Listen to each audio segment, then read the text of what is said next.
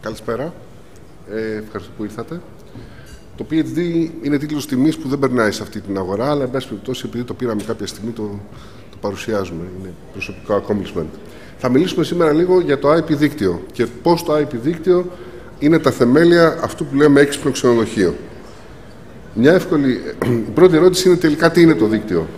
Είναι τα καλώδια; Ναι, είναι και τα καλώδια και μια καλή καλωδίωση είναι σημαντικό κομμάτι. Αλλά δεν είναι μόνο αυτό. Είναι οι routers, τα switches, ο ενεργός εξοπλισμός. Ναι, είναι και αυτό. Το χρειαζόμαστε. Είναι το ασύρματο δίκτυο. Ο κύριος πριν μας είπε ότι χωρίς ασύρματο δίκτυο στο δωμάτιο δεν πας πουθενά σήμερα. Και αυτό είναι μια αναμφισβήτητη αλήθεια. Είναι ένα ολοκληρωμένο σύστημα διασυνδεδεμένων υπηρεσιών. Ε, τεχνικά αυτό είναι. Αλλά όπως πολύ ωραία παρουσίασε και η HP πριν από μένα, ε, δίκτυο είναι οι άνθρωποι που μπορούν να κάνουν τη δουλειά τους. Είναι αυτός ο οποίος μπορεί να κανονίσει την κουραζιέρα που θα πάει από το κρεβάτι του τρώγοντας το πρωινό του. Είναι αυτός ο οποίος φτάνει από επαγγελματικό ταξίδι τρεις η ώρα στο ξενοδοχείο και δεν αντέχει να περιμένει 30 δευτερόλεπτα 15 λεπτά θα του πάρει για να κάνει check-in. Πηγαίνει, ακουμπάει το τηλεφωνάκι του, πηγαίνει στο δωμάτιό του, ανοίγει το δωμάτιό του, το δωμάτιο τον υποδέχεται όπως ακριβώς έχει ζητήσει, θερμοκρασία που θέλει, παίζει και ελληνικό πρόγραμμα τηλεόραση, γιατί έχουν τσεκάρει ότι είναι Έλληνας και ούτω καθεξής.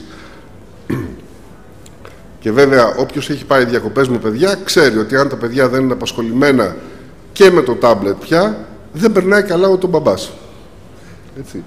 Ε, όλα αυτά είναι τα δίκτυα. Αυτά είναι τα δίκτυα που πρέπει να κάνουμε στα ξενοδοχεία. Αυτά είναι τα δίκτυα που πρέπει να συζητάμε.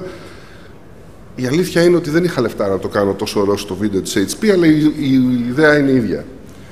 Ε, εδώ βλέπουμε πώς και το IPTV θα μπει πολύ δυναμικά στο παιχνίδι, ε, δίνοντας, φτιάχνοντας ουσιαστικά μία είσοδο για τον έλεγχο του δωματίου και όλα σχετικά.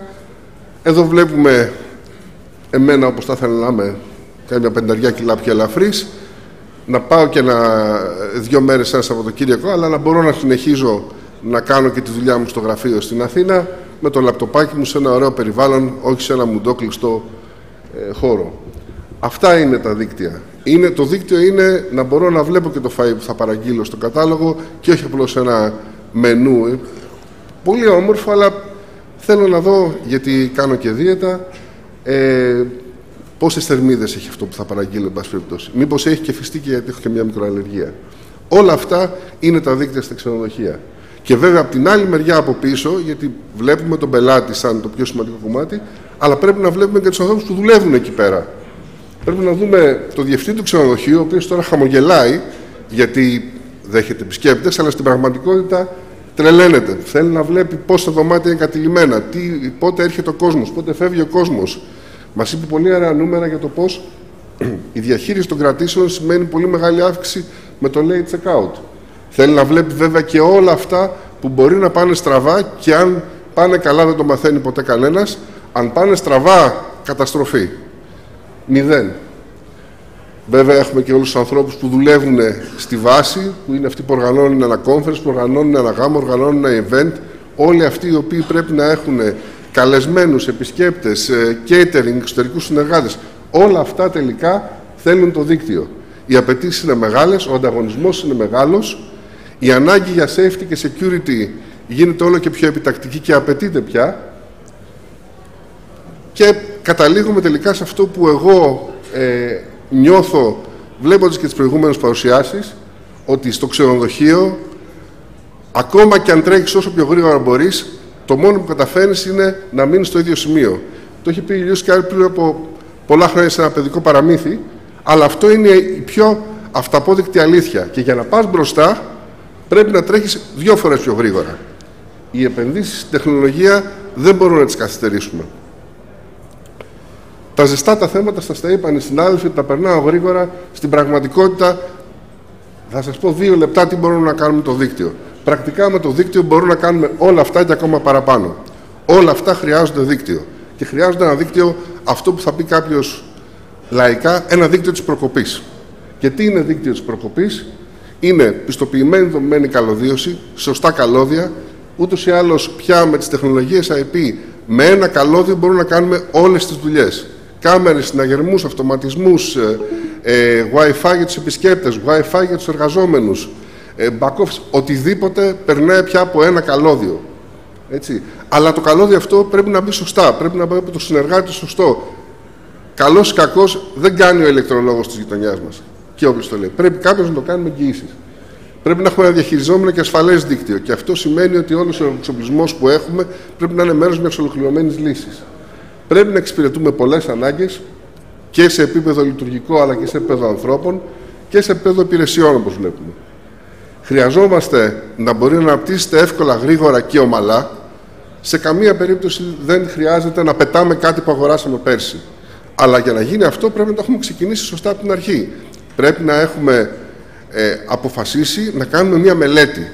Και συνήθως στην Ελλάδα, όταν μιλάς για μελέτη για τα δίκτυα, αντιμετωπίζεις με μια σιωπή. Δεν χρειάζεται, σου λένε. Χρειάζεται. Και χρειάζεται πάρα πολύ. Και χρειάζεται και μελέτη, και χρειάζεται και διαδικασίες, και χρειάζεται και τεκμηρίωση, και χρειάζεται όλα αυτά γιατί την ώρα που θα σου προκύψει ένα πρόβλημα πρέπει να μπορεί να λυθεί άμεσα. Η εικόνα που έχω αποκομίσει εγώ από τη δουλειά μα με τα ξενοδοχεία είναι ότι τα ξενοδοχεία είναι ένας πόλεμος έξι μηνών. Ξεκινάνε πριν το Πάσχα και τελειώνουν τον Οκτώβριο. Στο ανάμεσα κανένας δεν κάθεται, όλοι τρέχουν και όλοι θέλουν ό,τι θέλουν το επόμενο δευτερόλεπτο. Για να γίνει αυτό, πρέπει να υπάρχει μια σωστή υποδομή από πίσω με διαδικασίες, τεκμηρίωση και συνεργάτες. Γιατί κάτι που θα μου πει κάποιος με όλα αυτά κοστίζουν. Ναι, αυτό είναι κάτι που το βλέπουμε. Που οδηγεί σε αυτό 2,9. Terrible, worst, καταστροφή. Αυτό που έμαθα και θα σας πω σαν τελευταία κουβέντα στην παρουσίασή μου και ελπίζω να ήμουν σύντομος γιατί ε, με βοήθησαν πολλοί συνάδελφοι, τα είπανε πολύ ωραία πριν από μένα για μένα, είναι το εξής. Θα σας δείξω ένα ρητό που είχε πει ο Ρεντ Άντερ. Αυτός έκανε μια εξαιρετική δουλειά. Η δουλειά του ήταν μια από τις δυσκολότερες και επικοινωνότερες δουλειές σβήνει φωτιές σε πετρελοπηγέ. Και όχι τώρα, πριν από 50 χρόνια. Με χρήση κρυκτικών. Έλεγε λοιπόν, εάν νομίζεις ότι είναι ακριβό το να πάρεις ένα καλό επαγγελματία για να σου λύσει το πρόβλημα, περίμενε απλώς να έχεις πληρώσει τον αεραστέχνη. Ευχαριστώ πάρα πολύ.